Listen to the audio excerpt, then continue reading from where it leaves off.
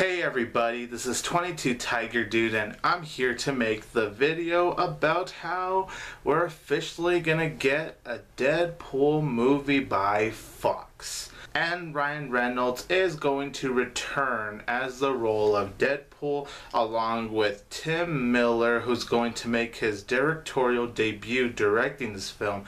He's made a couple of short movies but this is going to be his first feature-length film to direct and I think that's a nice way to have a directorial debut. And we got a test footage of Deadpool which looks really badass. I love the test footage and I honestly wanted a movie as well well. Now, I don't read the comics, so I don't know too much about Deadpool. I just know that he's a kick-ass superhero. He has the quirky humor.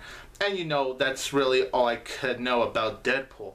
But I do remember watching Hulk versus Wolverine, Deadpool made an appearance and that and he was really awesome and just plain hilarious. I love how the suit looks. It looks very colorful and I can't wait to see Ryan Reynolds being in that costume most definitely. Ryan Reynolds, you were cool in X-Men Origins Wolverine, but I could definitely tell you're going to look more kick-ass in the Deadpool movie.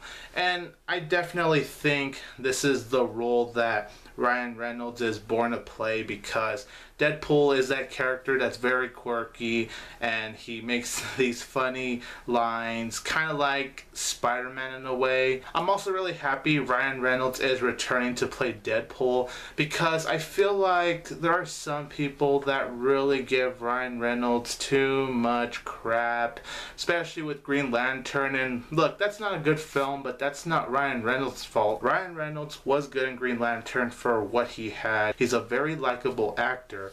So not only do I want this movie to be awesome, but I want this to hopefully be the movie that shows the world that Ryan Reynolds is a very capable actor. I already think he is, but I want more people to know that. I am really excited about it. It's supposed to release in theaters on February 12th, 2016. I'm glad Ryan Reynolds is coming back.